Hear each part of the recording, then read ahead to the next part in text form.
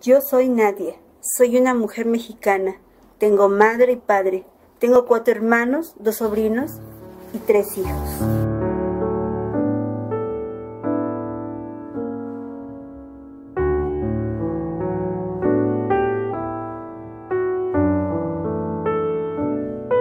Soy Nadia, podría ser tu hija, tu hermana,